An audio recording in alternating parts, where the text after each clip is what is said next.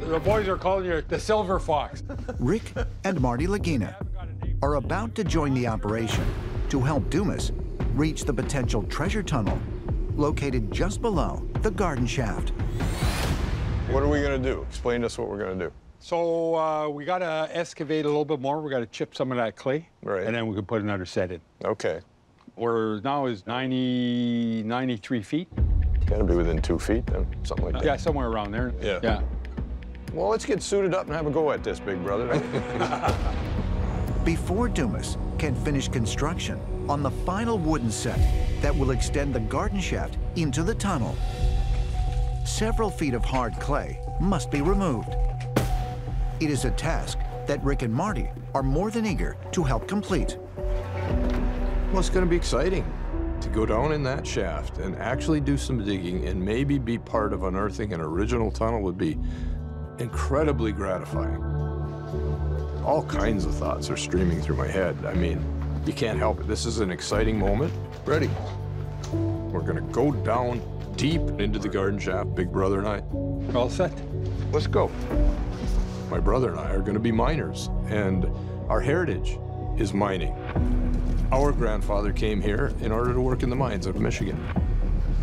It's really a, an amazing thing that's happening here, a confluence of heritage. Very good. That's right. Now we can begin. Marty, that's gonna be your corner over there. That's your corner beaver over there. there? Okay. Yours is called the Destroyer. Mine is? Yeah, yours is the Destroyer. All right. You got Big Betsy. Cool. Well, here's the deal, Rick. You could be standing uh, a couple feet above the tunnel we've been looking for for at least two years. Right there. Good. We are. Okay, well, let's get busy. How do you work this thing? Okay. This is about 60 pounds. So A little bit at a time? Yeah, okay. Pump going on. Silver Fox and his brother are ready to go. There's there.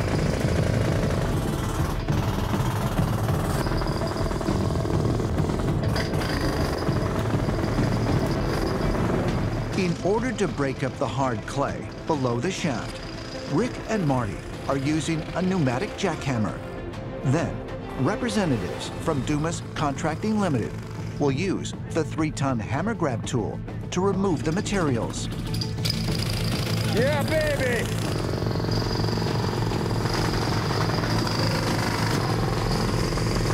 This is no job for old men. Jackhammers themselves weigh 60 or 70 pounds. They tend to get stuck in the clay. It is some of the hardest work I've done in many years. All right, break time.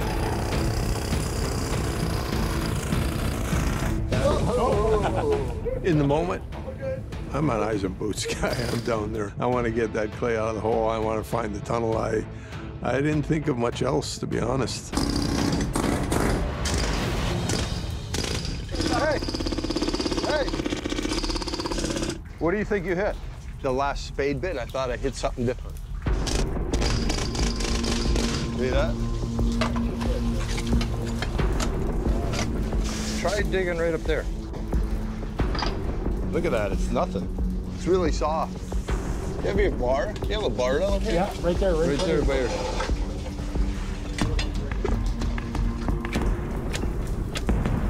I don't know if that's rock or wood, but it's immovable right there. Coming in. I thought uh, at the bottom of the spade bit that I was on top of something, and I thought, wow, wow, maybe, maybe I'm on a tunnel. Could Rick Lagina's speculation that he may have reached the mysterious and potentially ancient tunnel be correct?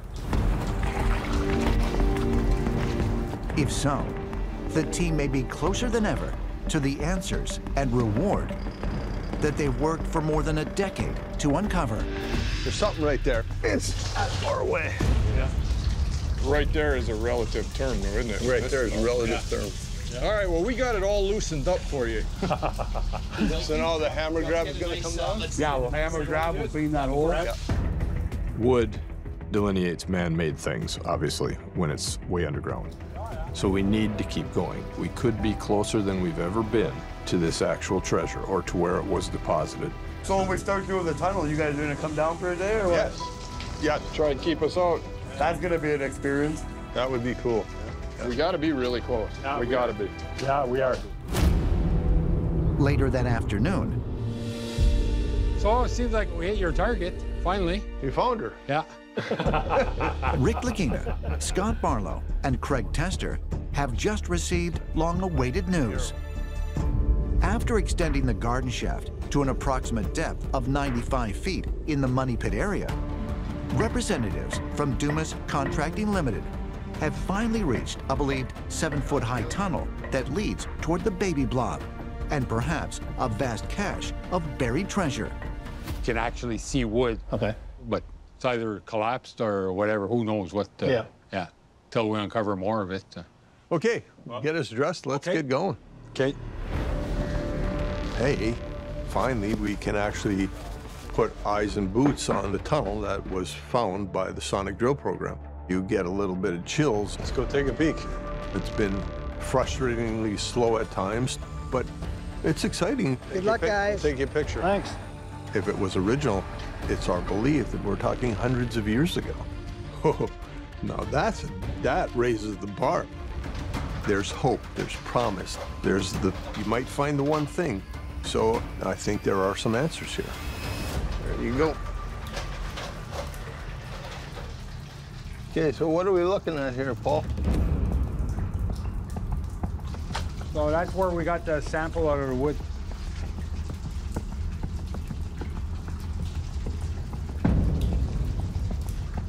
Do you feel anything? Yeah. Yeah, there's definitely wood right here. See your bar here. Yeah. So we, we drove that bar. That was just uh, for guiding. Yeah. So here's a round log there. Oh, okay. Okay. Right here, that's wood. That's wood right there. Oh, it? Yeah. See, there's some wood right there. But that's right here. See that right there? That looks like wood there, too. You know, there's something going on there. Definitely wood. There's a round log right. You see the end. Hear that?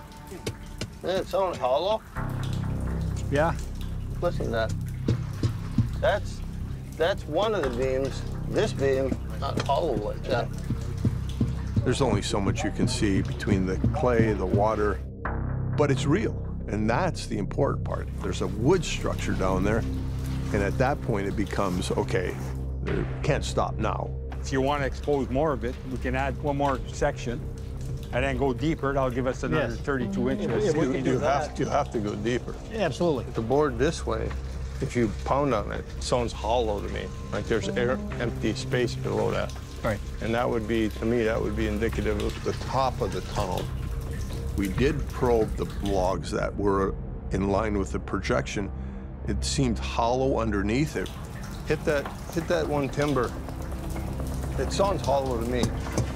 Yep. And the hope is to extend the shaft to explore this further. We'll excavate square enough and then keep digging. It's exciting seeing round timbers down there. to me, round timbers are a great indication it's potentially old. You you have to go back to the original story, right? You know, logs every 10 feet in the money pit. Logs, that's the description. It's an interesting possible connection. Round timbers associated with the original construct of the money pit and a round timber here. When I look back and think about reading the Reader's Digest article, it does bring your mind back to round logs in the original money pit, round logs in this feature. And so I don't have to believe that we're making progress at solving the mystery. I know we are. If we only saw square timbers down there, I think that we're more into more modern searcher times. So we'll just square off the, the excavation and we'll add another section on top Yep. and then we'll be ready to dig for another three feet and we'll be right on top of the, the structure. I mean, you can't help but let your mind go on this.